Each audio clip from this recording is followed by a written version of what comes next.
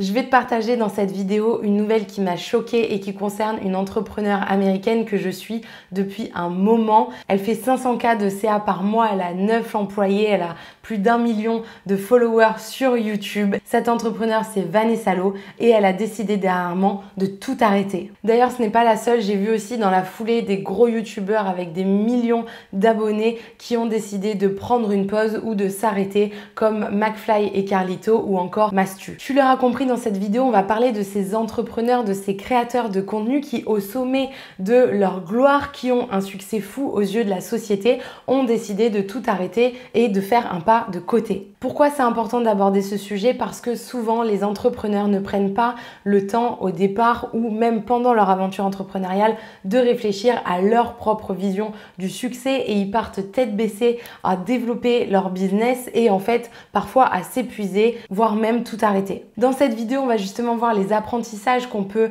en ressortir pour justement ne pas faire les mêmes erreurs pour que tu puisses toi développer ton business de manière successful mais sans te cramer. J'ai analysé la lettre de Vanessa Lo qui annonce son départ. J'ai regardé un peu ce qui se faisait au niveau des créateurs de contenu et aussi via mon expérience à l'accompagnement d'entrepreneurs, je vais te donner du coup ma méthode pour que tu puisses réussir à développer un business qui est réellement au service de ta vie et pas l'inverse. Déjà, la première chose qu'on peut voir dans la lettre de Vanessa Lo, c'est qu'elle dit qu'elle explique en fait qu'elle ne quitte pas l'entrepreneuriat, mais elle veut redéfinir ce que l'entrepreneuriat veut dire pour elle et quelle forme en fait ça doit prendre. Elle dit que c'est même pour ça qu'à la base, elle avait quitté son ancien boulot super bien rémunéré, etc., dans une grosse entreprise, parce qu'en fait, elle aspirait à travailler moins, à gagner plus et à avoir le contrôle sur où passe son temps. Et je suppose que toi aussi, si tu t'es lancé, c'est entre autres pour ces raisons-là. Et finalement, Vanessa, elle explique qu'elle est tombée dans le même schéma que ce qu'elle poursuivait dans son ancien job, c'est-à-dire vraiment toujours être à la recherche de plus, poursuivre des objectifs qu'elle penser en fait euh, vouloir atteindre, y arriver, se sentir insatisfaite, tomber en burn-out et repartir tête baissée à la poursuite d'un autre objectif. Et il y a beaucoup d'entrepreneurs qui font cette erreur-là aussi. Donc en fait, la première étape de ma méthode pour que tu réussisses à entreprendre sans te cramer, c'est vraiment de définir ta vision. Ça n'a pas besoin d'être chiant ni compliqué, simplement te poser en fait les questions de où est-ce que tu te vois dans 5 ans, est-ce que tu te vois avec des salariés, est-ce que tu as envie de continuer à entreprendre toute seule, est-ce que tu te vois dans des bureaux, est-ce que tu as envie de travailler de chez toi, ce genre de questions. Ça n'a pas besoin d'être compliqué et surtout pas d'être figé, tu pourras y revenir, tu pourras euh, en fait repenser ta vision, ça te permettra d'ailleurs de sortir un petit peu la tête de l'eau et surtout dans un premier temps, ça te donne vraiment un cap quitte à y revenir plus tard, mais au moins tu sais où tu vas. Dans sa lettre de départ, Vanessa Lo explique aussi qu'elle avait vraiment en fait le sentiment d'avoir perdu le contrôle sur sa vie et surtout sur sa santé mentale et qu'elle faisait en sorte en fait de comprimer toute sa vie autour de euh, son business et donc toutes ses relations, tous ses amis, toute sa famille, etc. en fait étaient modelées autour de ça. Alors qu'en fait c'était l'inverse qu'elle voulait quand elle a démarré son business, c'était vraiment qu'il serve sa vie et non pas l'inverse. Et donc ce qui est important ici, et c'est la deuxième étape de ma méthode, c'est de définir en fait quel va être ton business model, ton, ton, ton modèle d'affaires, comment est-ce que tu vas gagner de l'argent avec ton business pour que ça te corresponde et que ça corresponde à ta vision. Donc c'est important que tu définisses comment tu veux que ton business fonctionne pour qu'il puisse s'accorder en fait avec la vie que tu veux mener. Je te donne des exemples d'entrepreneurs dans le business en ligne. Par exemple, on a euh, Aline Bartoli de The Bee Boost et Geneviève Gauvin euh, de l'expérience catching en fait qui font un gros événement dans l'année et ça en fait ça va leur faire euh, plus de 90% de leur chiffre d'affaires. Donc l'avantage avec ça, c'est que tu as un gros événement dans l'année et donc peut-être le reste de l'année tu peux avoir potentiellement des semaines un peu plus cool, peut-être plus de place pour la créativité. En tout cas, tu sais que tu as le chiffre d'affaires ton chiffre d'affaires annuel qui est fait. Et à la fois ça peut être aussi source de pression selon les personnes parce que tu te dis bon bah je mise tout sur cet événement là donc euh, bah comment je fais en fait pour que ça réussisse et quelles sont mes autres options si ça ne fonctionne pas? Ça, c'est un exemple de business model. Après, tu as aussi Antoine BM qui, lui, fait de la formation en ligne et il sort des formations tous les mois, des petites formations. Donc en fait, il sait que s'il rate un lancement, bon bah c'est pas très grave, le mois d'après, il sortira une nouvelle formation et il va pouvoir faire son chiffre comme ça. Maintenant, le désavantage, c'est qu'effectivement, il est souvent dans la création et donc il lance des offres tous les mois. Pareil, ça peut ne pas convenir à tout le monde comme ça peut être le business model qui toi te convient. Je te donne un autre exemple.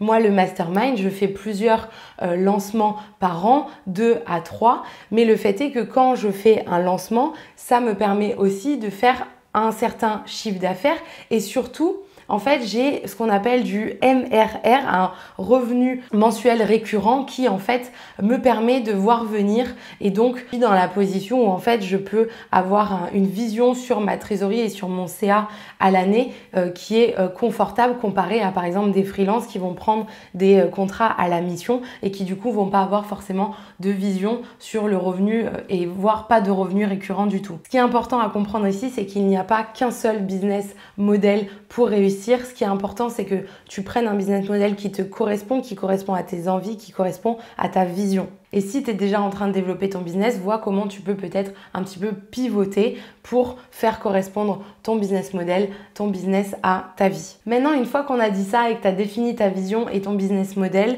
si tu pars dans tous les sens, ça va pas être fun. Du coup, il va falloir que tu définisses des objectifs stratégiques à mettre en place. Et ça, c'est le troisième point de ma méthode. Je vais pas m'étendre là-dessus parce que j'ai fait tout un live, une vidéo avec Amélie Canan qui est justement experte dans la structuration de business et la mise en place d'objectifs stratégiques. Donc, si ça t'intéresse, je te mets la petite fiche là de la vidéo et tu pourras aller la voir après celle-ci. Parce que souvent, on sait qu'il faut qu'on détermine des objectifs pour notre business, mais on ne sait pas forcément comment faire.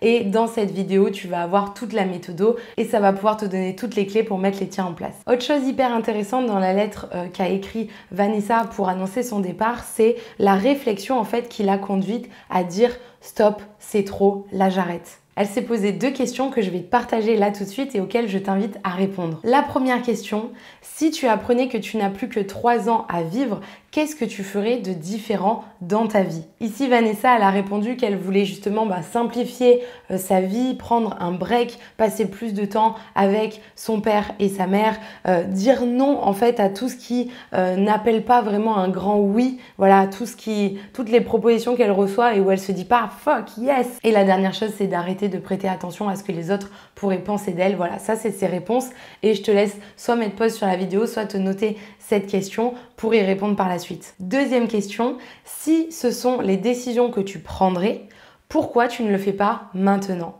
Pourquoi attendre si tu n'avais que plus que trois ans à vivre? Et c'est bien évidemment à la suite de cette deuxième question qu'elle a pris la décision euh, de tout arrêter et tout ça, ça s'est fait en trois semaines. Donc pourquoi je trouve ça intéressant? Parce qu'en fait, la quatrième étape de notre plan d'action, ça va être de mettre en place ce qu'on appelle tes non négociables, c'est-à-dire tous les moments dans ta semaine qui sont en fait non négociables pour toi parce qu'ils répondent à des besoins. Quand tu as entrepris, c'était certainement pour avoir un peu plus de liberté dans ton planning, dans ta vie.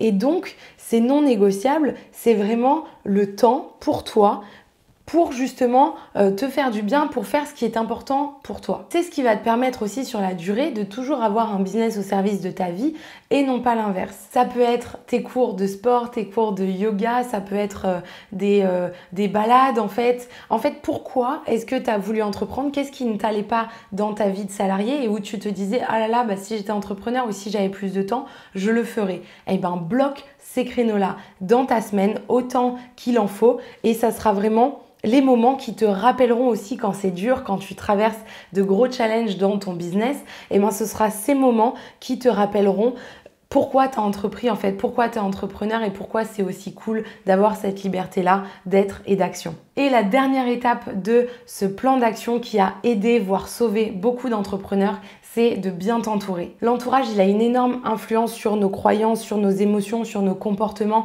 Donc si tu traînes avec des personnes qui n'ont pas forcément confiance en ton projet ou qui sont pessimistes ou qui te dévalorisent, bah forcément tu vas avoir beaucoup moins d'énergie pour entreprendre et on sait qu'il en faut énormément de l'énergie pour vraiment mener à bien son business. Et puis deuxième chose, en fait, quand tu as les bonnes personnes autour de toi, ça va t'aider à prendre du recul. Évidemment, elles vont te tirer vers le haut, tu vas pouvoir partager tes challenges, tu vas pouvoir euh, trouver une oreille attentive en fait qui comprend euh, ce que tu es en train de vivre, qui comprend les difficultés de l'entrepreneuriat. Et du coup, En fait, avoir des personnes autour de toi avec qui tu peux te sentir bien, avec qui tu peux te sentir toi-même et avec qui tu peux partager tes émotions. Le business, c'est 20% de stratégie, 80% de mindset.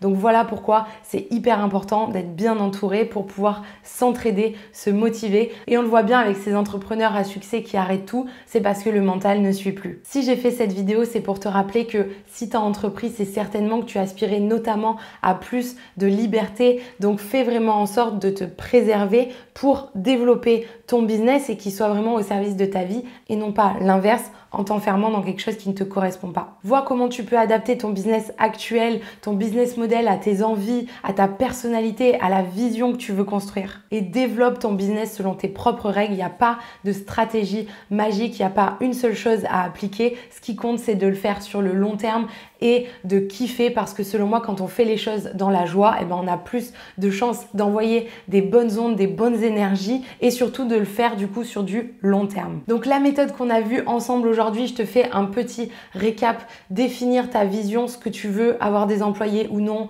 euh, combien tu veux gagner, pourquoi, etc. Définir le business model qui va t'aider à servir cette vision et qui correspond à ta personnalité, à tes ambitions déterminer des objectifs stratégiques pour justement ne pas partir dans tous les sens et faire ce qui est essentiel. La quatrième chose, c'est vraiment de mettre en place tes non négociables qui vont te servir de rappel sur pourquoi tu as entrepris et surtout qui vont te permettre de répondre à tes besoins et donc de te sentir bien.